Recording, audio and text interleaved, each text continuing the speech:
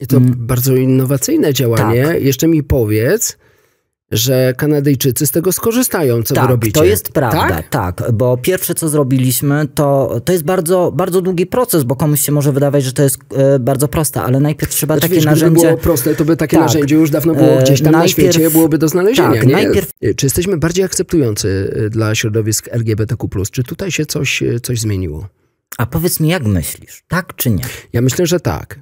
I y, to jest dobra odpowiedź. Polska jest mm, przedstawiana jako to, jako kraj, który jest najmniej tolerancyjny. Y, w naszych badaniach, które przeprowadziliśmy na pytanie y, ak akceptuje osoby o różnorodnej seksualności, ponad 89% osób odpowiedziało, że zawsze.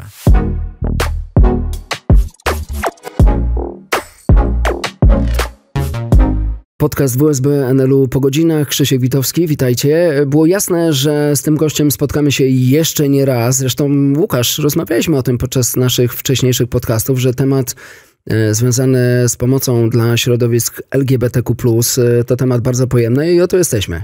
Tak, jest to temat e, ciągle na wszystkich tapetach, e, wszystkich portali społecznościowych, od Instagrama po e, Facebook, właśnie dlatego, że może do tej pory nie był aż tak bardzo eksponowany i zaopiekowane. E, teraz e, powiało troszeczkę e, większym optymizm, no właśnie, dlatego trochę, cieszę się... W trochę innych realiach rozmawialiśmy jeszcze Tak, dlatego cieszę się, że razem. powróciliśmy do tego tematu, mhm. bo warto rozmawiać o tym i uświadamiać przede wszystkim naszych odbiorców, że mhm. jest to temat ważny. Wiesz co, tylko ja mam prośbę, jakbyś mógł skrócić trochę nazwę towarzystwa, którego jesteś prezesem, bo ja mam cały czas problem, więc uwaga, ja przedstawię mojego gościa w podcaście WSBNL-u po godzinach. Łukasz Prochni, student psychologii WSBNL-u, to jeszcze jest łatwe do, tak. do powiedzenia, ale prezes Polskiego Towarzystwa Psychologii i Orientacji Seksualnej i Różnorodności Płci. Powtórzcie. No właśnie. Proszę długa, Państwa. długa nazwa, ale ona chyba wszystko zawiera, o co chodzi w tej twojej działalności yy, na co dzień. Tak, e, być może ona jest e, długa dla nas Polaków, ale ona jest e, kwintesencją dla naszych osób, z którymi współpracujemy z Amerykańskiego Towarzystwa Psychologicznego, bo ta nazwa jest zaczerpnięta właśnie z 44 Dywizji Amerykańskiego Towarzystwa Psychologicznego, która mhm. właśnie w ten sposób brzmi, oczywiście bez E, określenia e, polskie, e, ponieważ zawiera wszystko to, czym my się zajmujemy. Czyli rozumiem, że sugerujesz, że muszę się tego nauczyć na pamięć, będzie mi łatwiej, nie będę musiał czytać. Można zawsze używać skrótu PTP OSRP. W USB NLU stało się nie tylko przestrzenią do dyskusji na temat pomocy osobom LGBTQ, ale realnie ta pomoc już jest e, realizowana przez uczelnię, a od października, Łukasz, rusza kurs dla psychologów, który będzie uczył, jak pomagać osobom e, ze środowiska LGBTQ, bo żeby to było możliwe i było skuteczne, to musimy wiedzieć, w jakich realiach się poruszamy. E, dokładnie, masz rację. I tutaj trzeba e, podziękować bardzo serdecznie naszemu panu rektorowi, e, doktorowi Dariuszowi Woźniakowi, że w tych mm, powiedzmy trudniejszych czasach, gdzie ten wiatr może nie, nie wiał aż tak optymistycznie dla tego środowiska, zdecydował się wysłuchać nas, studentów psychologii, i e, uruchomić kurs odnośnie pomocy psychologicznej osobom LGBTQ. I to jest kurs profesjonalny. Dał nam jeden warunek. Powiedział: Łukasz, słuchaj, E, utworzymy ten kurs, ale to muszą Was uczyć e, naprawdę bardzo dobrzy specjaliści. Zwróciliśmy się o pomoc do Amerykańskiego Towarzystwa Psychologicznego, które z otwartymi rękoma powiedziało: OK, pomożemy Wam, wyślemy Wam całą listę naszych e, akredytowanych specjalistów, którzy wesprą wasz kurs. Wyselekcjonowaliśmy odpowiednią kadrę i ta kadra w języku angielskim od e, października 2023 roku do e, marca 2024 roku e, prowadzi zajęcia z nami studentami online. Mało tego, kurs jest całkowicie do, kurs był całkowicie darmowy, dostępny dla każdego. Mhm. Zapisało się w pierwszej wersji ponad tysiąc osób z całej Polski. Zapisali się, to, zapisali się na ten kurs zarówno psycholodzy, jak i studenci psychologii. I e, dzięki tak dużemu za, zaangażowaniu e, rektor zauważył, że ten temat faktycznie jest potrzebny i że e, faktycznie są ludzie, którzy chcą się kształcić w tym kierunku. Dlatego już od października 2024 roku ruszy ponownie ten kurs w wydaniu 15 godzin wykładowych i 15 godzin ćwiczeniowych. I tutaj do tego kursu zaprosimy już wykładowców e, z naszych polskich uczelni, którzy w języku polskim poprowadzą ten kurs i nie chcę zdradzać na razie nazwisk, ale są to naprawdę nazwiska z pierwszego topu, jeżeli chodzi o e, obszar e, tożsamości seksualnej i różnorodności płci w Polsce. No właśnie, problem polega na tym, że wcześniej e, bardzo wąskie grono e, specjalistów zna się na tym obszarze, prawda? Więc tutaj wymaga to zdecydowanego rozpropagowania. A propos tego, że e, uczelnia stała się kanwą do dalszej dyskusji, no to rzeczywiście ta przestrzeń studencka, akademicka to jest idealne miejsce, bo to właśnie ta przestrzeń pozwala na rozmowę o nawet najbardziej trudnych społecznie tematach, a ten temat bez wątpienia do łatwych e, nie należy.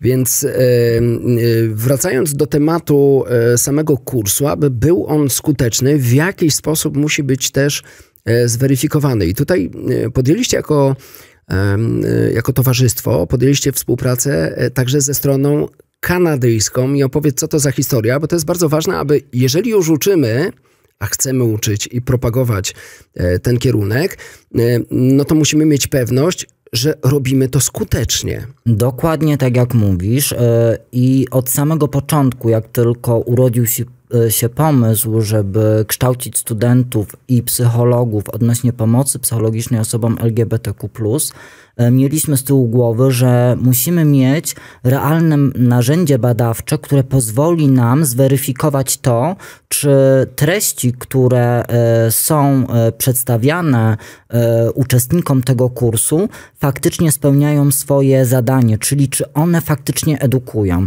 I co się okazało, że na całym świecie nie ma takiego kwestionariusza, takiego narzędzia badawczego, które mogłoby to w bardzo prosty i łatwy sposób ocenić. Oczywiście e, poprzez przegląd e, różnych czasopism naukowych dotarliśmy do e, Kanadyjskiego Towarzystwa Multikulturowego, które opracowało kwestionariusz oceny kompetencji kulturowych było... Ale w ogólnym stopniu, tak? tak. Generalnie, tak. jako kompetencje, Ogólnie, nie skupiając tak. się na żadnym z, ze szczegółowych obszarów. Absolutnie e, mm, to kanadyjskie towarzystwo no nie, nie opracowało kwestionariusza, e, które badałoby kompetencje kulturowe osób LGBTQ+, mhm. tylko ogólnie kompetencje kulturowe ale e, czytając e, e, przegląd literatury naukowej odnośnie badań w zakresie szkolnictwa LGBTQ, bardzo często pojawiały się cytowania tego narzędzia jako możliwość w dalszym mhm. wykorzystaniu odnośnie badania efektywności programu nauczania odnośnie osób LGBT, odnośnie nauczania w pomocy psychologicznej dla osób LGBTQ. Więc e, wzięliśmy ten kwestionariusz i przeprowadziliśmy pełną adaptację zgodną z warunkami psychometrycznymi e, w Polsce. I to mm. bardzo innowacyjne działanie. Tak. Jeszcze mi powiedz, że Kanadyjczycy z tego skorzystają, co tak, wy robicie. to jest prawda, tak? tak? bo pierwsze, co zrobiliśmy, to, to jest bardzo, bardzo długi proces, bo komuś się może wydawać, że to jest e, bardzo proste, ale najpierw trzeba znaczy, takie wiesz, narzędzie... Gdyby było proste, to by takie tak, narzędzie już dawno było gdzieś tam najpierw, na świecie, byłoby do znalezienia, tak, nie? Najpierw, najpierw takie narzędzie trzeba po prostu wziąć, znaleźć i trzeba je poprzeć również różnymi innymi badaniami naukowymi i powiedzieć, że e, inni naukowcy również z tego e, korzystali albo wskazywali, że jest to dobre dobre. E, więc przetłumaczyliśmy to oczywiście e, na język polski. E, skorzystaliśmy z trzech różnych źródeł tłumaczeń. Później po takich konsultacjach z powrotem tą wersję polską, która była już naszą wersją tego kwestionariusza oceny e, kompetencji kulturowych w odniesieniu do osób LGBTQ+, należało przetłumaczyć z powrotem na język angielski, żeby znaczy, wiedzieć, znaczy też... czy ci Kanadyjczycy to zaakceptują. Wysłaliśmy to do nich mhm. i stwierdzili tak, to jest dobre i my to chcemy wykorzystać w Kanadzie. Przede wszystkim rząd kanadyjski chce to wykorzystać do tego, Mm, żeby szeroko promować to w świecie e, swojego biznesu lokalnego jako doskonałe narzędzie, które przyczyni się do lepszej komunikacji ze środowiskiem pracowniczym osób LGBTQ, mhm. z mm, całym środowiskiem korporacyjnym danej firmy. I e, mm, na razie jesteśmy na etapie prowadzenia walidacji w języku polskim. E, kolejny etap to będzie przeprowadzenie walidacji w języku angielskim, i wtedy właśnie Kanadyjczycy już oficjalnie będą mogli korzystać z takiego przetestowanego narzędzia. Więc e, mamy to narzędzie, a to narzędzie, historia tego narzędzia była nam potrzebna po to, żeby właśnie utwierdzić się w przekonaniu, czy to, co uczymy, uczymy mhm. dobrze.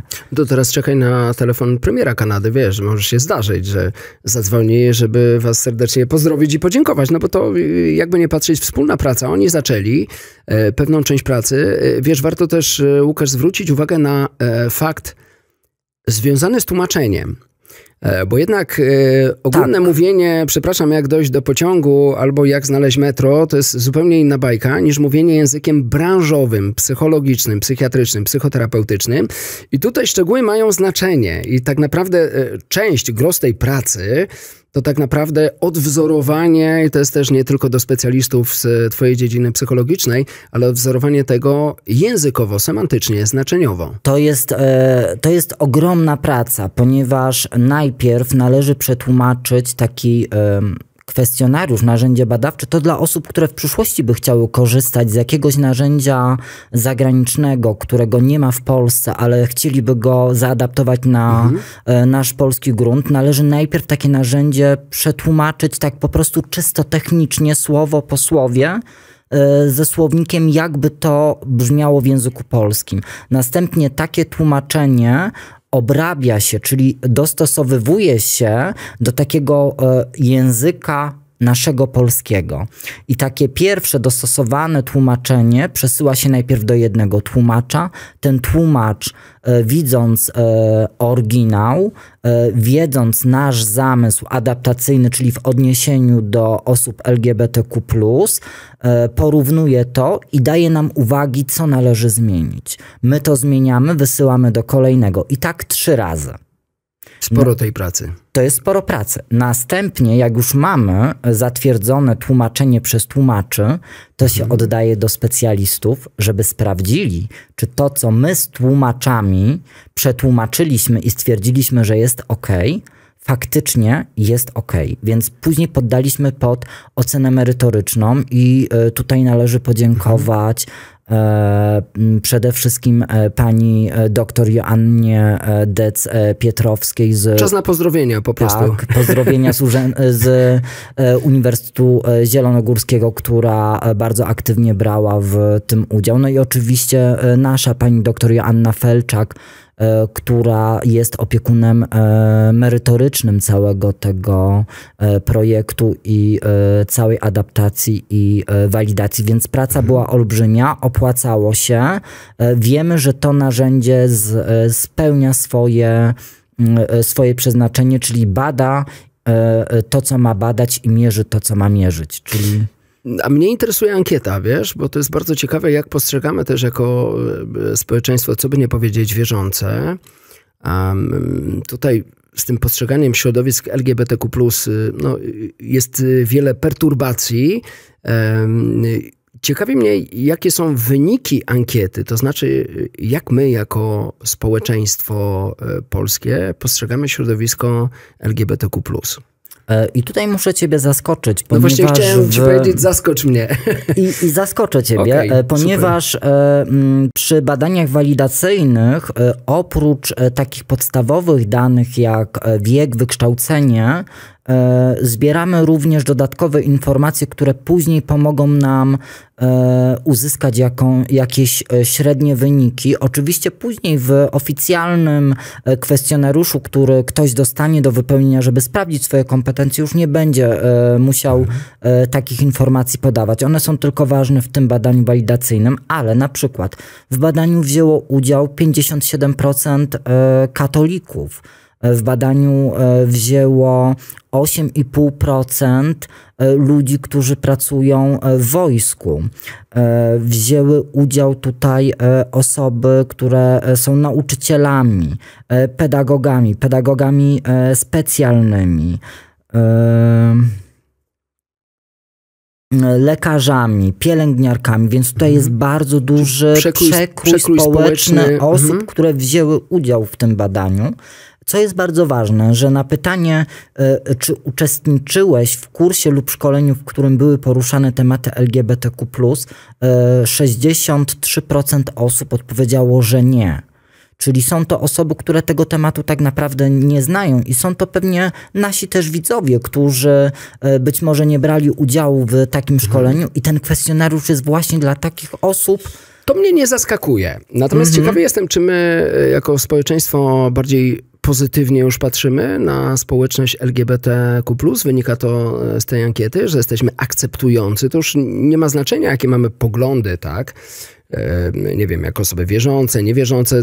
W ogóle to jest mało ważne, tylko y, y, jaki mamy poziom akceptacji jako ludzie po prostu, nie szufladkując siebie na takich czy innych i czy my jako ta społeczność, która wywodzi się, jest katolicka, tego nie ukrywajmy, y, czy jesteśmy bardziej akceptujący dla środowisk LGBTQ+, czy tutaj się coś, coś zmieniło?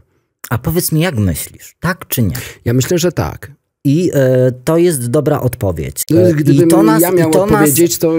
I to, nas, I to nas właśnie w tym badaniu zaskoczyło, ponieważ w tych wszystkich światowych rankingach Polska jest mm, przedstawiana jako to, jako kraj, który jest najmniej tolerancyjny. E, w naszych badaniach, które przeprowadziliśmy na pytanie e, ak e, akceptuje osoby o różnorodnej seksualności, ponad 89% osób odpowiedziało, że zawsze.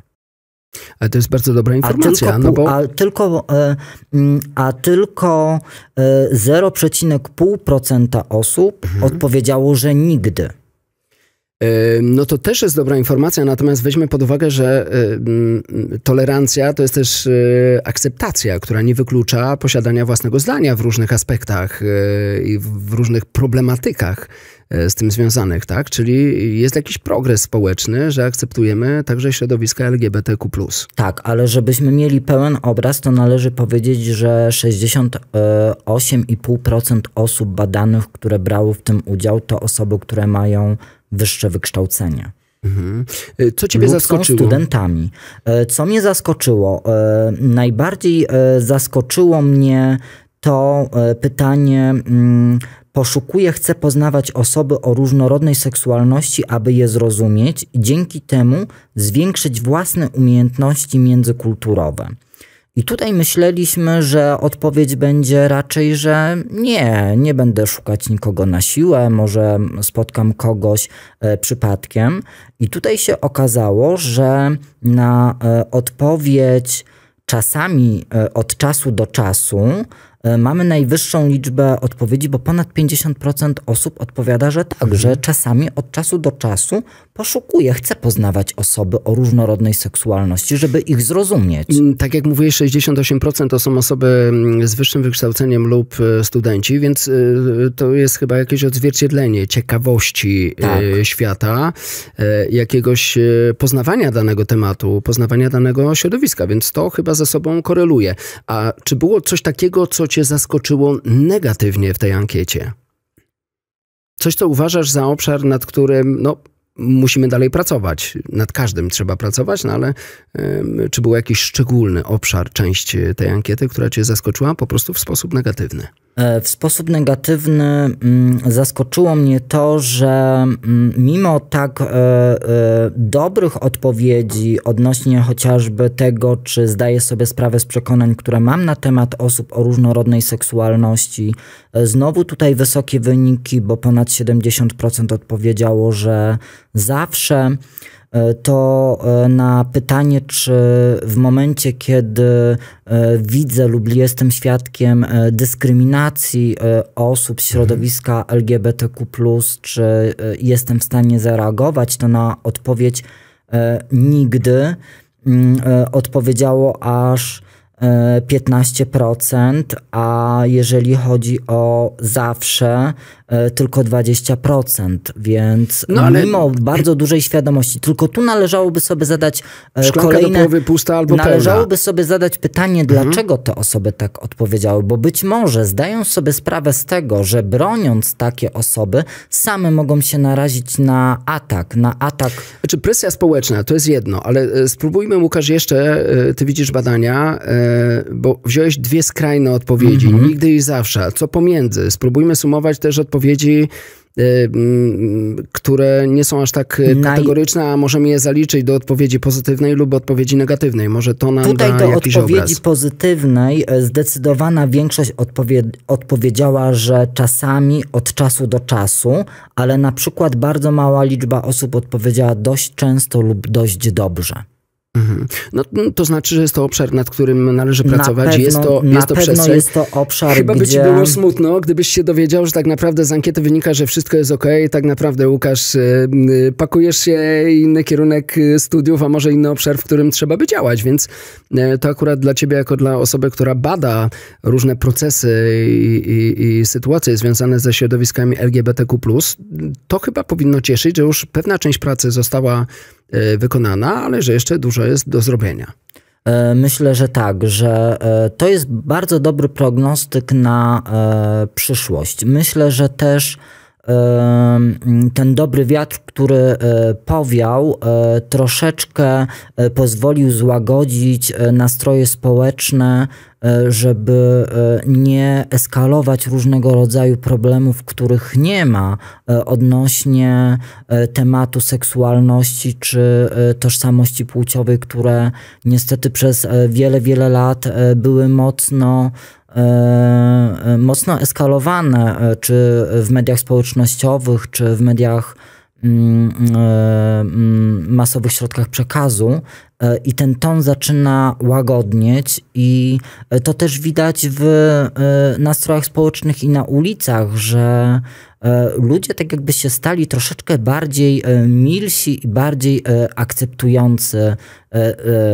swoją różnorodność. I tej akceptacji będzie służyć kurs, który wracamy do tego tematu, który ponownie wraca w październiku. Szybkie pytanie, już na sam koniec mhm. naszej rozmowy. Jak widzisz przyszłość rozwoju pomocy psychologicznej, może później psychiatrycznej, psychoterapeutycznej e, dla osób ze środowisk LGBTQ?